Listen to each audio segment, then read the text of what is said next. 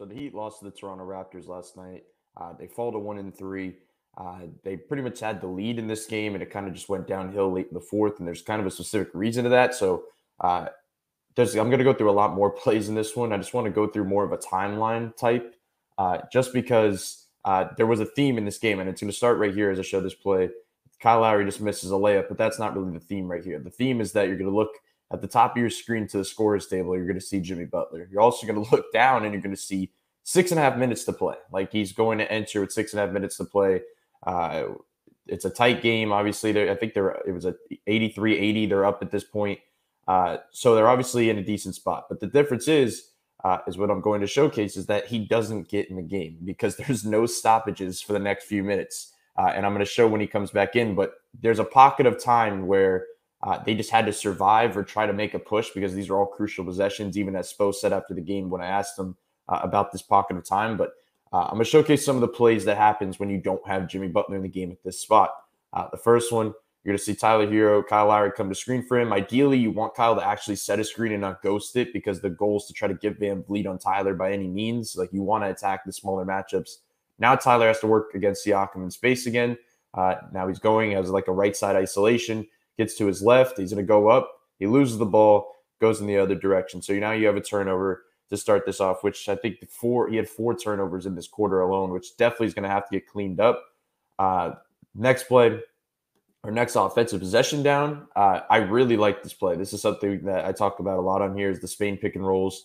Uh, shout out Nekias because obviously uh, he's the guy when that name comes up. But uh, Kyle Lowry, Bam pick and roll. The Spain pick and roll is just Tyler screening uh, the screener's defenders. So right here, it's Precious. He's going to set a just a back screen for him as Bam goes on the roll. Uh, they kind of get jumbled up right here, is what's basically the goal here. Bam takes kind of an early leap and he just misses the dunk, but that is great execution. Like that is a great possession to run late in games from the fourth quarter. Like I just like that type of uh, creativity. They just miss on that one.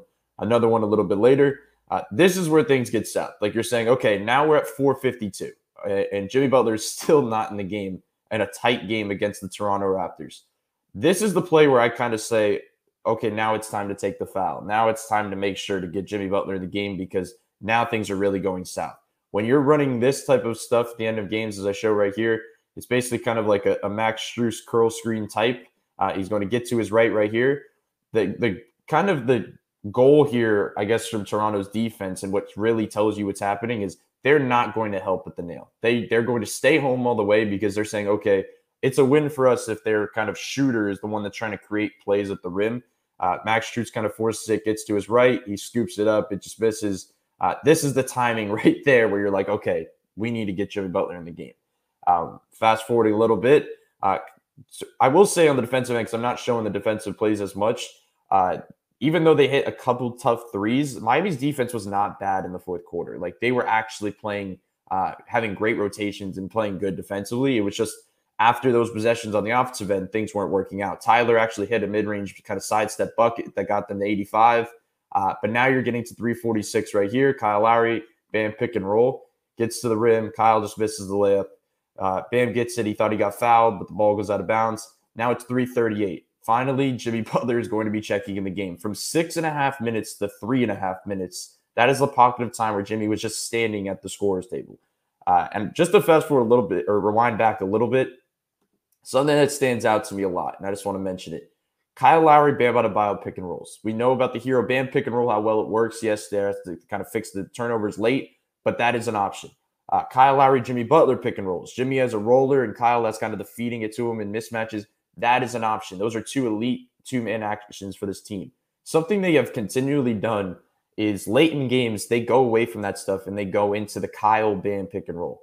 I don't really know why because it's just a it's kind of a, a worse version of the other two pick and rolls that we see because you're basically asking Kyle to not be reluctant on the pull up and Bam to kind of work in space. I, I don't really know the the uh, the goal there, but that's kind of what they were getting to, and obviously it didn't work out. So now I'm going to fast forward basically to now we're in the three minute mark. Jimmy Butler is in the game. Uh, still not a field goal attempt in this quarter, uh, obviously because he just checked in. And now you're going to see stuff. This is the stuff that you don't want, even when Jimmy Butler is in the game. Uh, you're going to see a Jimmy drive. Uh, it's kind of forced. He has to kick it to Bam, swing, swing.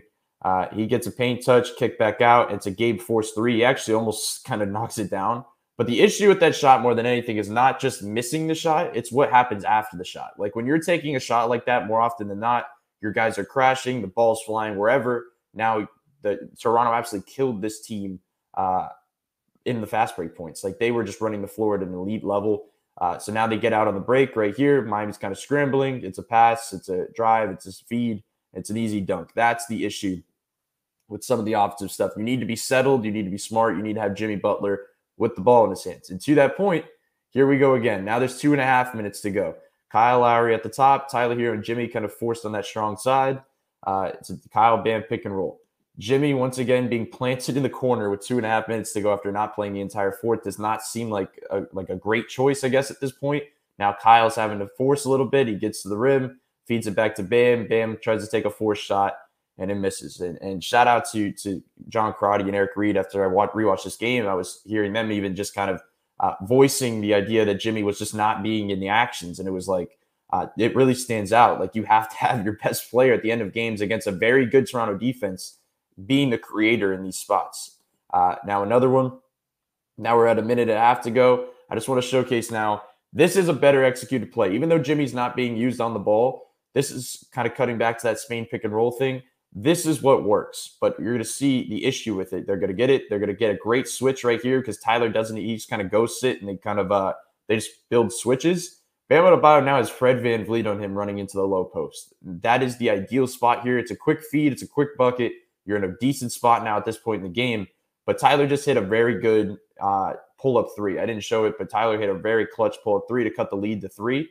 Uh, but now he's kind of, I guess, feeling it a little bit. But the feed has to be there. He kind of loses it a little bit, gets a three off, he misses it. But when you get that type of switch on that that Spain pick and roll, like I feel like, especially at this point in the game, you gotta go uh, and get to it. Now, fast forward a little bit more. Uh, Jimmy Butler now a side out, the side out possession on an inbound. Jimmy Butler's going to get that curl screen, something they run a lot. If you ever see them on an inbound like this, it's a lot of times going to be a curl screen. Jimmy Butler gets it, curls rack inside, and he gets an easy bucket for Jimmy uh, at the basket. His first attempt in the fourth quarter. Like that is an issue uh, when you're talking about this game. And to finish off this, as I know I didn't show a lot of defense, this is why I said like I thought their process was good because even at this point in the game, it's a three point game. They need to stop. I think they played it pretty well. Bam helping over, he's shading over. Max is splitting the difference. Kyle is kind of staying low on, on Siakam off the switch. He does a good job on him. Bam still shading over. Jimmy shading down off the nail. Uh, good contest right there. Max, great con- contest, stays with it. Gary Trent just in the deep corner just nails it. So the, def- stuff was kind of just, it is what it is. Like they were just hitting tough buckets. The offensive stuff, Jimmy Butler being at the uh, scores table from the six and a half minutes to the three and a half minute mark. And I was going to finish it saying that the from that mark to the three and a half minute mark, there was four missed layups, uh, a Tyler Herro turnover, uh, a Herro bucket, kind of mid range bucket. Those were the possessions in that pocket of time. That's what flips games. That's you just can't waste that many possessions. And that's kind of what went south for Miami in this one.